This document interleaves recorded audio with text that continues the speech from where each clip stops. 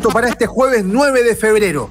A falta de una confirmación oficial, las clasificatorias sudamericanas arrancarán en septiembre de este año. Estamos entonces a seis meses y un poquito más de que esta realidad nos golpee en la cara. Seis meses más de trabajo para Eduardo Berizzo, un par de fechas FIFA en marzo y en junio para ir ajustando las piezas, en una realidad que no permite hacer proyecciones muy halagüeñas. Cuando uno analiza el grueso de lo que ha sido la generación dorada, que ha sostenido todo este proceso, inclusive el tiempo que lleva Berizzo, uno dice, ¿cuántos jugadores están permaneciendo aún en el primer nivel? Está muy claro que Arturo Vidal, por supuesto que no, lo hemos dicho, lo hemos refrendado, este mal paso que ha dado un Flamengo, un Charles Aranguis que lo más probable es que salga de Alemania y que producto de las lesiones no ha podido jugar prácticamente en toda la temporada.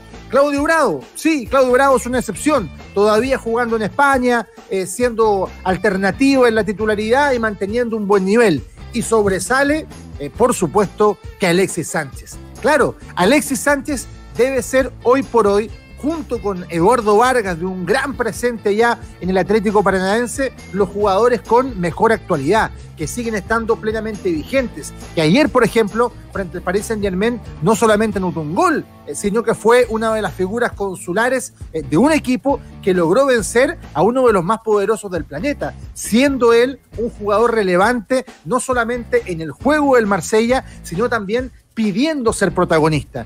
Esa condición, a los casi 35 años, hace de que Alexis sea un jugador excepcional y seguramente la punta de lanza para construir todo lo que viene. Pero acompañándolo a él, el resto, eh, ofrece posibilidades que a uno le permitan alimentar opciones, la verdad es que no. Los relevos que aparecen en el medio local eh, no tienen todavía la experiencia ni la altura y los que están afuera están en mercados que son bastante mediocres y que impiden consolidar eh, su figura y su presencia en el extranjero. ¿Qué hay que hacer? Construir equipo.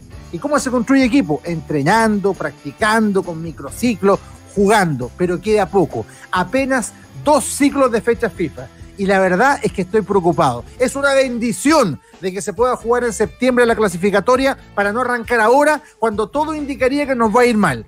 Son oportunidades preciosas donde el Consejo de Presidentes, el propio Berizzo y la NFP debieran darle una prioridad absoluta al trabajo en Pinto Durán por sobre el campeonato. Veremos si se da, es muy difícil, pero la única manera de poder avanzar es con el laboratorio de Pinto Durán a full, con un Berizzo concentrado, probando, probando y probando, consolidando, consolidando y consolidando para llegar en septiembre en buena forma. Señoras y señores, con los titulares arrancamos la presente edición de Red Bull en la clave.